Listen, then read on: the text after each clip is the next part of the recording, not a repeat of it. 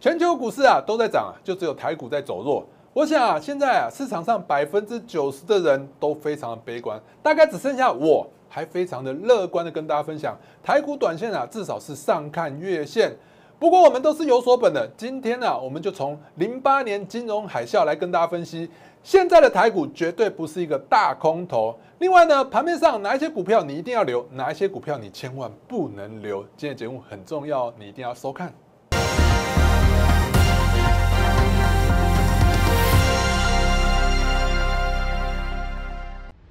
投资获利，放眼未来，想要跟我一起使用融合总经面、基本面、技术面，面面俱到的投资方式，掌握股价关键买卖点，欢迎加入我的相关媒体频道。加入之后记得要按赞、订阅加开启小铃铛哦。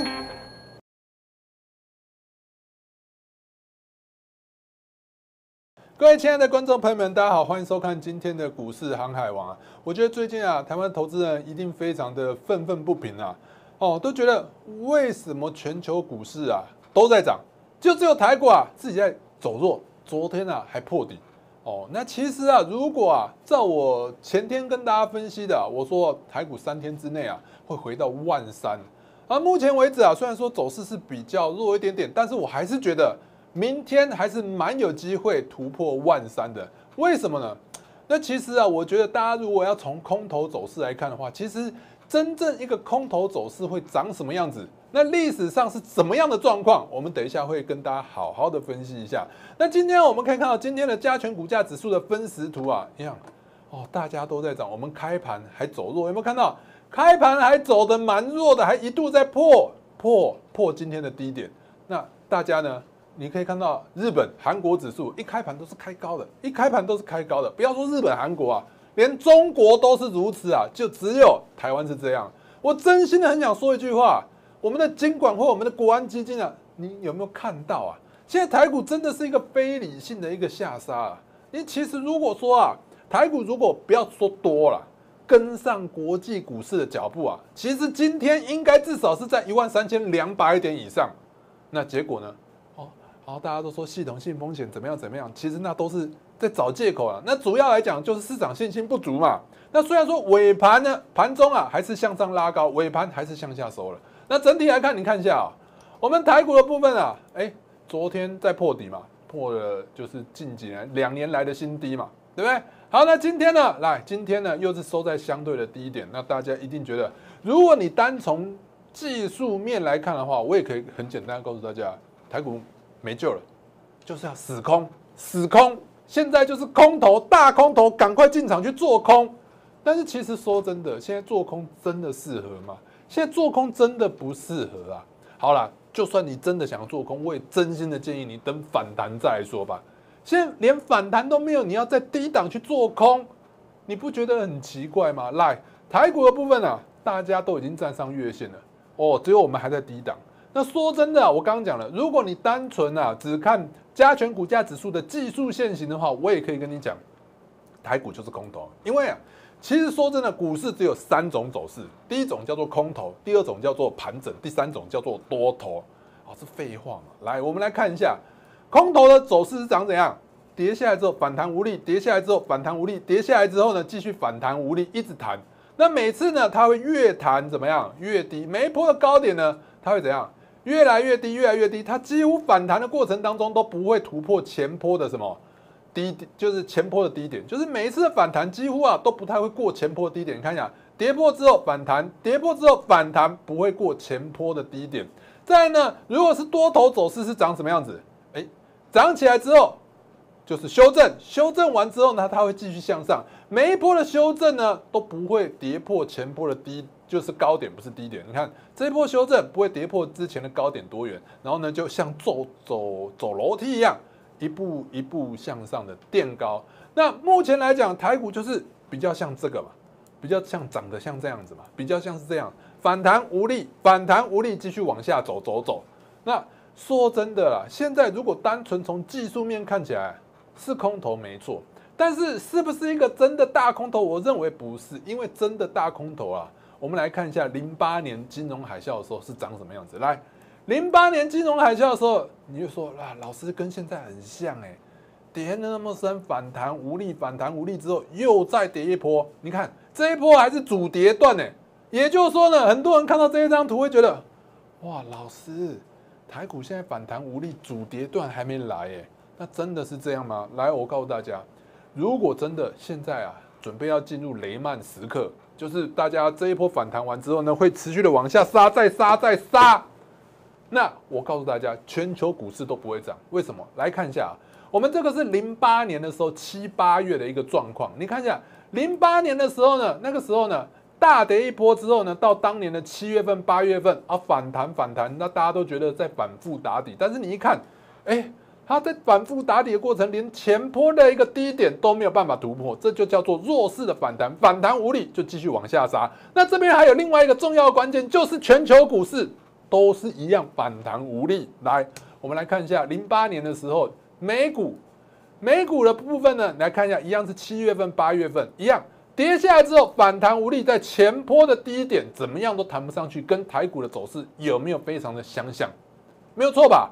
大跌之后反弹无力，后续再跌一波，这是道琼指数零八年七月份、八月份跟台股一样。反弹无力有没有？七月份、八月份反弹无力，继续往下杀。也就是说呢，你会发现啊，这样的图形，这两张图形有没有非常相似？也就是说，全球股市啊，几乎都是联动的。如果说台股真的要继续往下杀不停，一直杀杀到底，杀到死，全球股市都不会涨。哦，不只是美股哦，你看一下，连法国股市，我们欧洲派一个代表也一样，在零八年的时候，七月份、八月份有没有一样是反弹？你不要说，哎。这真的是不一样的图形，你看这边数字是不一样，这真的是法法国股票哎，不是都一样的图，你现在看是不是都很相似，对不对？都很相似，都是反弹无力，但是他们真的是不一样的图形。我帮大家抓出来，在零八年的时候，七月份、八月份反弹无力，再跌一波，那包含了其他的韩国股市也一样啊。你看零八年的时候，七月份、八月份反弹无力，继续往下跌一波，所以啊，真正的大空头啊是全球性的。全球都会反弹无力，你看，包括连中国一样，零八年的时候，七月份、八月份是不是大跌之后反弹无力，后续继续再杀一大波？好，所以呢，台股如果后续啊要再杀一大波的话呢，我认为全球股市都要反弹无力。但是现在的全球股市有反弹无力吗？我告诉大家，反弹的还非常有力嘞。来，我们看一下道琼指数嘛，道琼指数的话，来。这波低点呢，前波低点这边跌破之后，马上拉起来，是不是突破了前波的低点？这不算一个标标准准的大空头。来这边呢，再跌再一次的跌破，再一次跌破之后，跌没多久，它又再一次的报复性的大反弹，对不对？好，反弹完之后呢，又说要升息，升息，升息，升息，结果升息之后，又再大跌了一大段，跌破前低之后，在不远处就在这边打底之后，形成一个 W 底。然后持续的向上反弹到今天，到今天都还在涨，那你说这像是一个零八年的大空头的样子吗？你看零八年的大空头反弹是这么的无力啊，那你再看一下今天，今天的部分我们看一下今天的道琼指数，今天道琼股股价指数，你看反弹是多么大的一波啊！如果说呢，这是一个真正的大空头，我认为啊。道琼股价指数不应该会突破三万点这个整数关卡，至少不能突破三万一千点。结果呢，它不但突破了三万一千点，还直接向上准备要迈向什么三万两千点，这就代表说这不是一个大空头。而且我们环游世界给大家看一下，我们环游世界给大家看一下，你看一下道琼指数啊，这是我早上画给大家的。W 底之后呢？我不是有跟大家讲吗？我每天都数给大家看。我说啊，如果是一个反攻的讯号，在反攻讯号出来之后呢，这个股价指数啊会在三五天之内持续的创新高，就是短多的格局。来，我们给大家看一下，这一天它公布了 CPI，公布了 CPI 之后呢，利空不跌，反而向上。这就是一个突破的信讯号嘛，一根红棒吃掉之前所有的跌势。来，从这一根之后呢，你看是不是三五天持续的创新高？来，你数我数给你看哦。来，隔天就创新高了，创新高之后重数三天，来一没有创新高，二又再创新高，创新高我们继续再重数三天，一二没有创新高，对不对？第三天创新高，而且一根红棒吃掉所有的黑棒，是不是代表持续的走强？然后呢，从这一根红棒之后呢，你会发现啊，不断的再创新高。我们再数一天创新高，再创新高，每天都在创新高。美股一路向上创新高，已经突破了季线。它突破季线之后呢，也就是说，这个短多格局已经正式确立了。当然，你在这个阶段不要去追美股啊，只是美股多方格局是确认的。既然多方格局是确认的话，美股就不是一个大空头，那就像零八年一样。如果说全球股市后续是一个大空头，我告诉大家，美股反弹也会无力啊，欧股反弹也会无力啊。亚洲股市反弹也会无力啊。那我们来看一下其他国家，除了道琼，我不要说我们的，我们看一下其他国家就好了。来，德国有反弹无力吗？没有哎，一样哎，持续的向上，已经突破了季线了。来，法国一样，持续的向上突破季线。来，日本股市虽然说稍微弱一点点，但是呢，你看一下人家也是准备要挑战季线的。准备要挑战季线的，没错吧？这边震荡之后呢，正式站稳了月线，准备要挑战的季线。那韩国呢？韩国人家至少也站稳月线了吧？来，我们这边看到，如果你仔细看的话，这边有一个小小的跳空缺口，这几天呢都站在跳空缺口之上。也就是说，今天晚上如果美股续涨的话，韩国股市啊。应该会持续的再创新高，而且我们可以从现在的欧洲股市来看，你看一下现在的欧洲股市还是持续的再创高哦。现在是欧洲股市有没有站稳季线之后有没有看清楚？又持续的再创高。德国股市也是一样哦，持续的再创新高。那当然呢，我们最新最新的道琼指数呢也是一样持续的向上。那今天早上啊，大家又很担心一件事情，什么事情？那个财报嘛。微软财报公布不如预期，德州仪器财报公布不如预期，谷歌 Google 的母公司 Alphabet 就是字母公司财报也是大幅衰退，结果他们盘后都大跌，盘后都大跌。那大家都知道，这都是最重要的科技类股，那大家可能又没信心了。哦，我告诉大家，没有那么没信心。我们如果看到现在的纳斯达克期货指数的话，我们来看一下，来，我们看一下纳斯达克的。期货指数啊，你会发现，哎，有没有根本就没什么跌，还在昨天的红棒的一个低点之上，对不对？有没有？所以呢，现在也是在收红，持续的。如果你看分时图的话，持续的向上走高。也就是说，早上公布财报之后，跌完七八，哎，准备可能就没事了，没事，它就利空出尽。最近很流行利空出尽啊，所以最近啊，你会发现，最近包含台股也是一样，很多股票啊，利多反而都不会涨，要利空。要利空啊，跌到不能再跌，烂到跌到不会再跌，它才有机会向上。好，所以呢，这一波大家很多人都会跟你分析啊，现在很多人都跟你讲讲啊，好像跟你在聊天呢，大概还能这么明确的跟大家分享说，我告诉大家，台股短线就是会上看月线，至少上看月线。很多台都跟你在聊天呢，什么叫做聊天？什么叫做跟你确认趋势？不一样哦。有些人会跟你讲说，哎，你短线是否会继续涨的话，我们先看万三，然后如果哪一天呢，万三真的站上去了，他会跟你讲，你看我早就跟你说了哦，会上万三哦。那我们呢，我们直接跟你讲，台股短线至少先看月线，也就是说，我是很乐观跟大家讲，现在就是超跌，现在就是超跌。那为什么会这么弱气？当然他们会跟你讲很多理由。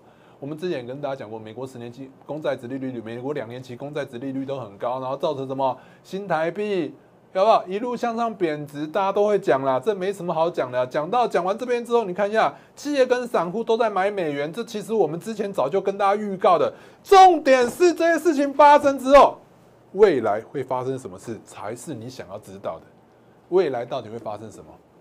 大家都去换美元，企业散户都去换美元。会一直这样子走下去吗？不会。有没有听过一句话？人多的地方不要去。现在人最多就是在哪里？美元，在美元哈。人最多的地方现在就在美元。我们来看一下美元指数的部分。来，美元指数，美元指数你会发现啊，哎，哦，人多的地方真的是不能去。你看一下，大家都在抢美元的时候，哎，美元就开始向下跌了，有没有？当大家都在买日币的时候，你会发现啊，日币啊，买完还是继续贬值。对不对？所以人多的地方真的不要去啊！哦，这样了解吗？你看一下，大家都在抢美元，美元指数代表美元的价格，美元的价格还持续往下走低。好，所以呢，这个地方是绝对不能去的。那去哪里最好？现在跌对升，大家都觉得没希望的股票。哦，你看一下，说真的，股票市场，你看外资啊，在这么悲观，也慢慢从卖超变成买了。那你不要说，哦，老师只买一点点哎。我告诉大家，你看一下，在期货的部分，它的多单是持续的增加，哦，那所以你看多单持续增加的话，也就是说外资也是跟我一样嘛，对不对？外资跟我的看法完全一样嘛，就是看多。现在台股就是超跌，哦，那当然了，很多人会怪国安基金啊，有些人会怪什么台积电啊。那其实说真的，我觉得昨天国安基金没有出来讲几句话，真的是有点过分，因为昨天呢，台股啊真的是就是超脱市场。哦，大家都在涨，只有你在跌。那今天大家都在涨，哦，我们就小涨一咪咪。那你国安基金不出来讲一些话，也是很奇怪。因为你国安基金的目标是什么？你国安基金的工作是什么？护盘好吗？不是探级，是护盘，不是探级，了解吗？哦，所以呢，国安基金昨天在这样超脱市场，我们也不是说，哦，你就是要来救我们散户啊，让我们解套，不是嘛？那现在是我们台股是超脱于市场哦，超脱市场不是好事哎，大家都在涨，只有我们在跌，这是很奇怪的事情啊！大家都在同一个轨道，那我们在不同的轨道，我们在跌的轨道，那这不就叫做失序？什么叫做失序？失去秩序？那你国安基金就应该把它拉回来嘛？那不是啊！你今天国安基金连一句话都没有说，你可以不要买，你可以出来讲说，哎。如果再跌，我们就会用力的给它买下去。你可以讲，但也许你不用买，对不对？你至少要给大家信心嘛。现在大家就是没信心嘛，所以造成台股现在啊是超脱全球市场啊，自己在往下跌。好，那我我认为啊，其实金管会还真的有蛮蛮用心在在在护盘的，因为他们一直有政策在出来，这我们就不再讲了。那其实我认为啊，其实现在其实真的是一个蛮好的时机，因为你会发现啊。现在散户都没信心了。现在百分之九十五，才百分之九十五吗？可能百分之九十九点九九九九九的散户投资啊，都认为这就是一个大空头，反弹就要空，反弹就要空，真的是这样吗？我刚跟大家分享过，如果今天真的是一个大空头，我绝对会告诉大家，因为现在就是啊，我跟我已经跟大家预测了，全球股市就是会涨。那既然全球股市都还在涨，台股没有理由。会持续的往下跌，那现在市场信心不足，没关系哦。那你国安基金不讲话，美股持续向上涨，那你今天涨可能拉不动信心，你明天再涨可能拉一点信心，你后天再涨，我信心总有一天会被拉上去，总有一天被拉上去以后，我告诉大家，台股就可能会出现一个报复性的大涨，千万不要怀疑，这是非常有机会的。好，那昨天台积电在大跌嘛，我告诉大家，很多人啊。都是锦上添花跟落井下石啊，大概只有我是什么雪中送炭啊！你看一下台积电在一路向下跌的过程当中啊，现在越来越多媒体跟你讲台积电多惨啊，半导体先风暴啊，哦，有六大风险啊，跟你讲很惨的。但是我告诉大家，台积电还是护国神山。台积电它的基本面没有改变，不会因为一封信说什么叫员工多休假，它就不赚钱，它不是这样的公司，而且短线上本来就已经超跌了，好不好？所以手上有台积电的话，我认为啊，坚持啊，坚持才是最好的选择，好不好？台积电坚持坚持，如果你有台积电的话，我们不会为了赚钱这样说，哦，赶快来跟我做，我来把台积电砍了，我们换强势股，不需要这样。好，那整体来看，我就跟大家讲。台股跟美股啊，长线来讲就是联动的。美股在持续向上涨，台股绝对不会孤单的。那我们早上也跟大家画了，你看一下 W 底形成之后突破季线，准备再创新高。那目前为止，到目前为止，道琼期货指数还是向上涨的。那也许有些人说，老师，人家都说费半指数跟台股比较像，因为台湾都是半导体类股，我读的书不多，我都知道了。好，但是你看一下，连。费半指数，费半指数有没有看到？都持续的向上垫高，台股的位置根本就不对嘛。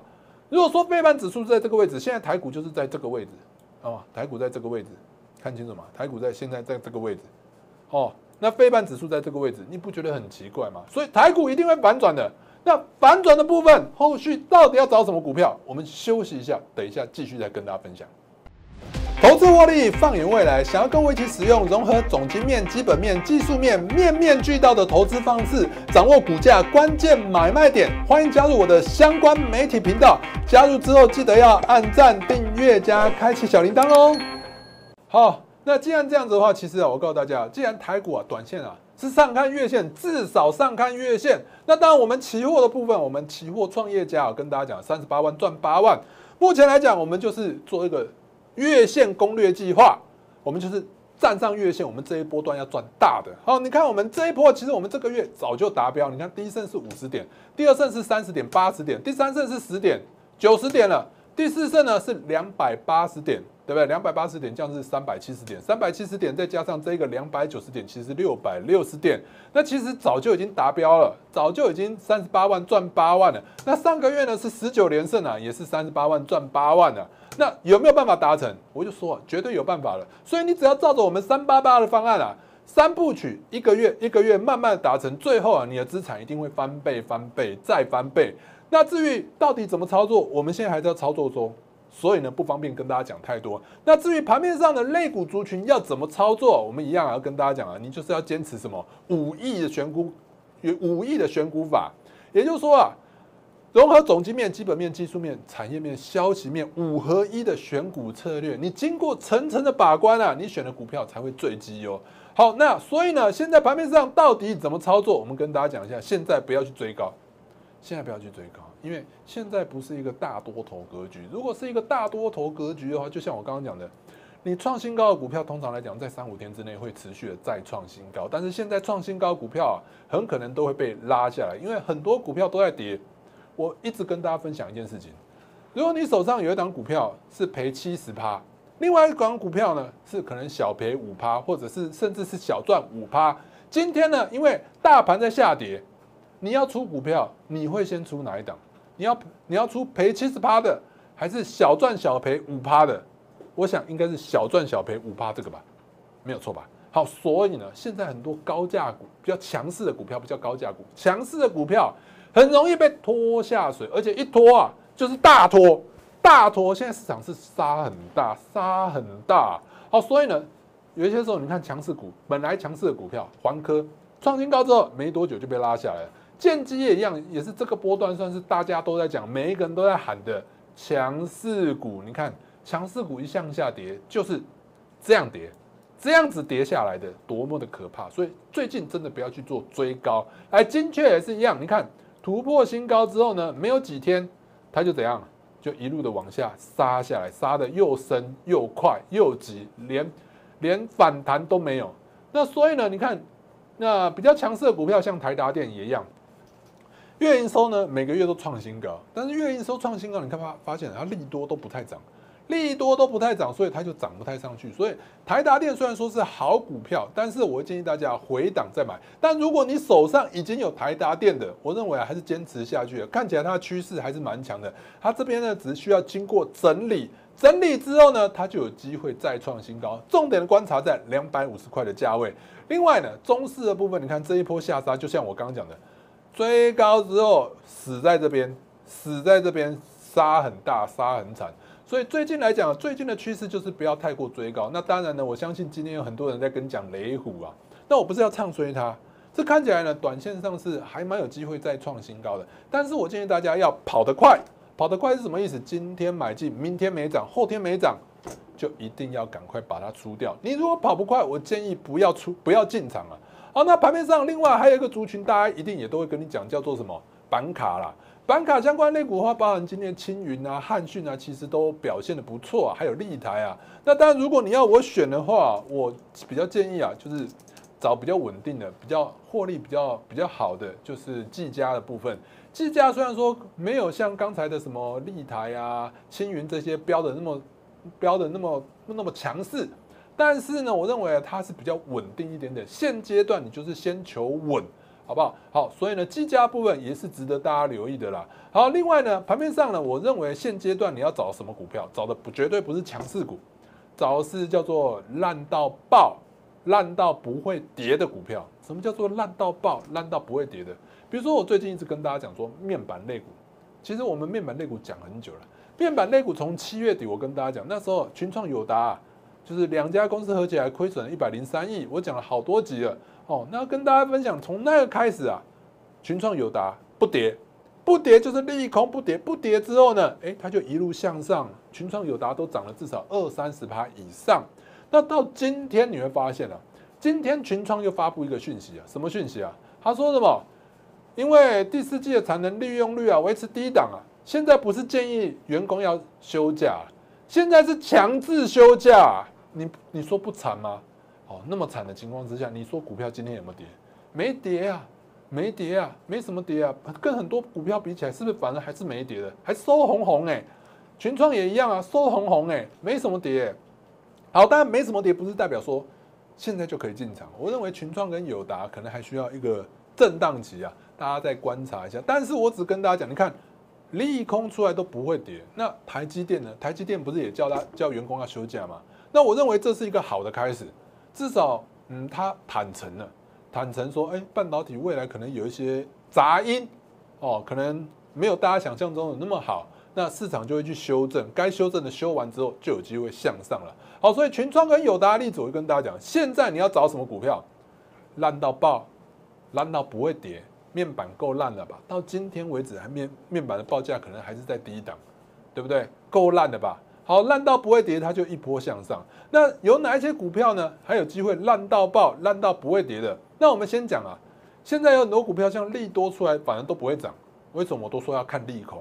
你看一下窄板三雄，我们之前跟大家讲，包含了新兴、南电跟锦硕嘛。那新兴的部分，它基本面就最好，营收持续的再创历史的新高，但是税后净利也是持续的再创新高。所以今天讲了，今天就讲了。今天早上消息就说，新兴 Q 三获利创新高，每股赚五点八块，三季赚十五块，那四季至少赚二十块。那现在本益比够低了吧？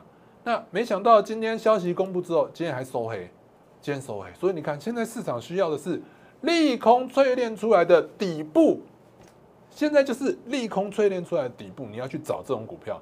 那包含了什么？像今天中珠也一样啊。九月获利年增十五趴，好不好？前三季赚十三点三块，创同期新高，好不好？棒不棒？棒啊！股票涨不涨？不好意思，继续往下跌。所以现在股票你要找的就是利空不跌，烂到爆，烂到不会跌，烂到爆，烂到不会跌。你看，旺宏也是一样啊。你看这个消息，你光是看标题你就知道了，持续的拉拉升高阶车用产品的占比，明年车用的营收续强。你不觉得很棒棒吗？结果呢，股价还是不给力啊，又往下跳空向下跌，那是不是就跟大家讲的？现在你要去找的就是烂到爆、烂到不会跌。那烂到爆、烂到不会跌的有哪一些？比如说像钢铁类股啊，我们讲过很多次。你看中钢单月亏损十四亿，股票怎么怎么跌？没什么跌啊，平盘震荡啊。所以你看相关的钢铁类股，我们讲了好几天了。第一桶涨停涨停，今天呢开低，本来大家觉得没救了。哦，结果继续向上涨，又继续涨了。哦，司机钢也是一样，缓步的持续的向上垫高。所以你说钢铁人有没有机会回归？钢铁人绝对有机会回归。所以我们这一档钢铁人即将回归啊，是持续受惠。它可能会受惠于什么？俄罗斯铝业被美国禁止嘛？那新台币贬值对它也是受惠了。它 EPS、ROE 啊都持续的再创新高。那除了钢铁人回归之外，还有哪些股票？我跟大家讲了，有哪一些股票可以留？哪一些股票不能留？哪一些股票可以留呢？我刚跟大家讲的，不能留的就是创新高的股票，创新高一直在涨的股票，如果三天之内都没有办法再创新高，我建议大家不要留，赶快砍一砍了。那如果能留的呢，就是第一档的股票已经跌到深、跌到爆、跌到没有，大家都没有希望，该出的都出了，不该出的也出了，那是什么？我认为啊，钢铁人完之后，可能航运类股是蛮有机会的。航运类股的话，你看一下长荣的部分，最近啊，相信啊，应该也没有人在跟你讲说，那个航运的报价有机会向上涨了，已经没有机会了，没有机会了。但你会发现，他们有没有在跌？这么多的利空之下，长荣有没有在跌？没有哎，没有在跌。现在都传利空传到怎样？他说啊，美国塞港缺柜的问题没有了。好，现在报价一直往下跌，狂跌、暴跌、大跌，跌到什么？跌到他们的成本之下，也就是说，以前呢，是送一趟赚一趟，大赚一趟，现在是送一趟赔一趟啊！连这种消息都传出来了，你看股价有没有跌？没跌，所以没有跌的话，我认为啊，货柜 A 股啊，航运类股啊就有机会。航运类股的话，包含什么？长荣啊，你看阳明有没有跌？今天最近大盘有在狂跌，阳明有没有在跌？没有在跌嘛。所以你手上有航运类股，不要乱砍啊！哦，不要乱砍，我认为还蛮有机会的，只要没有跌破前低，都蛮有机会。另外，万海也是一样，有没有在跌破前低？没有哎，大盘一直在往下跌。万海有没有在跌？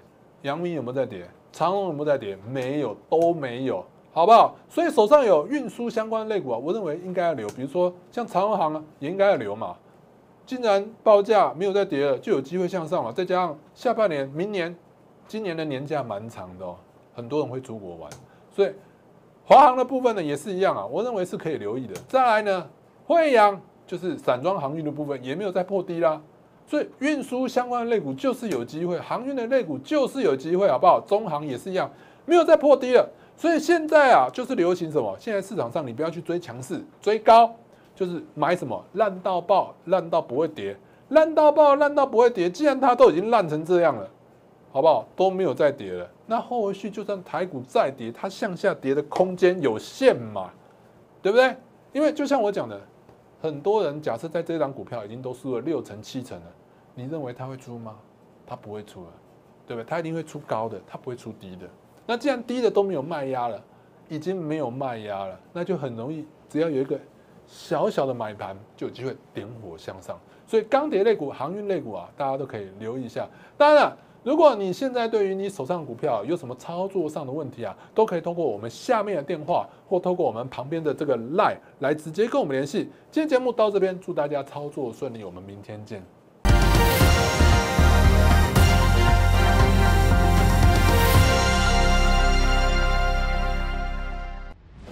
投资获利，放眼未来。想要跟我一起使用融合总经面、基本面、技术面，面面俱到的投资方式，掌握股价关键买卖点。欢迎加入我的相关媒体频道。加入之后记得要按赞、订阅加开启小铃铛哦。